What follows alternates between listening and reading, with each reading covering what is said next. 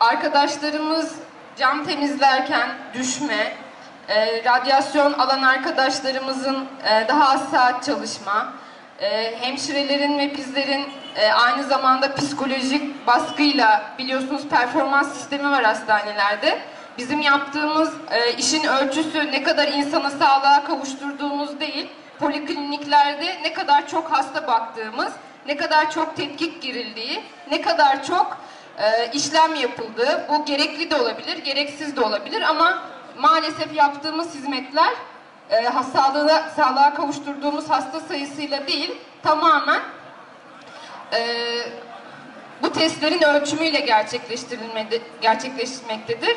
Bu da piyasalaşmayı getirip bizim üzerimizde gerçekten çok büyük bir iş yükü ve baskı getirmektedir. taşeron firmaların maliyet hesabı yapıyor. Maliyet hesabı yapıyor.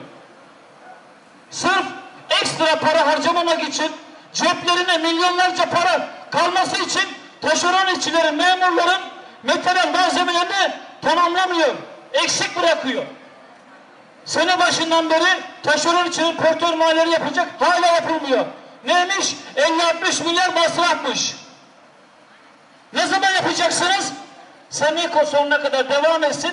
Bir önceki senenin tahlil sonuçlarını kamu kurumuna veririz diyor. Düşünebiliyor musunuz? Sağlık üreten bir kurumda bunlar meydana geliyor.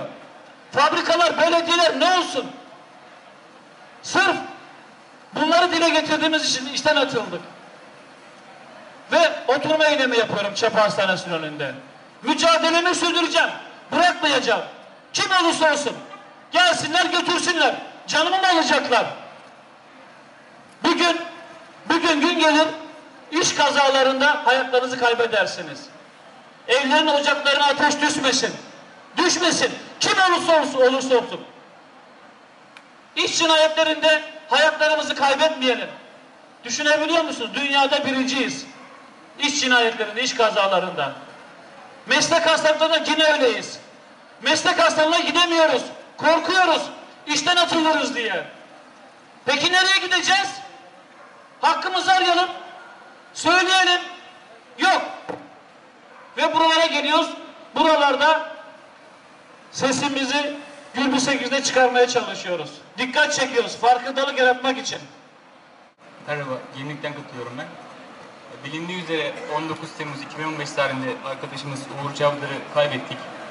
Ee, yet, yeterli güvenlik önlemleri, iş güvenliği önlemleri alınmadığından dolayı Uğur Çavdar'ı kaybettik. Ardından iki ay sonra patlamanın olduğu bölümde inşaat e, bir inşaat firmasıyla anlaşılmış ve e, inşaat firmasının kur- kurmuş olduğu iskeleye, iskeleyi kullanarak bizim orada çalışma yapmamız istenmişti. Bölgenin temizlenmesini temizlenmesi istenmişti bizden.